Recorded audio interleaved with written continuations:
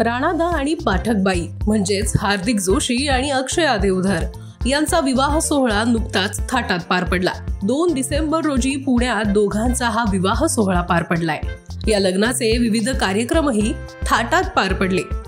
एकीकडे अनेक सेलिब्रिटी आणि मित्रमंडळींनी या सोहळ्याला हजेरी लावली होती. तर दुसरीकडे थेट राज्याचे मुख्यमंत्री एकनाथ शिंदे यांनी हार्दिक आणि अक्षया या नवविवाहित जोडप्याला लग्नाच्या शुभेच्छा दिल्यात.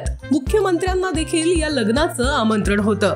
मात्र त्यांना या लग्नात उपस्थित राहणं शक्य नसल्यामुळे मुख्यमंत्र्यांनी थेट व्हिडिओ कॉलद्वारे या जोडप्याला शुभेच्छा दिल्यात.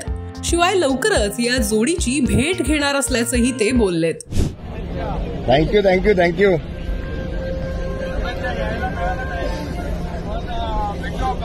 हो हो नक्की नक्की. थँक्यू थँक्यू थँक्यू ठाणे झालो की भेटतो?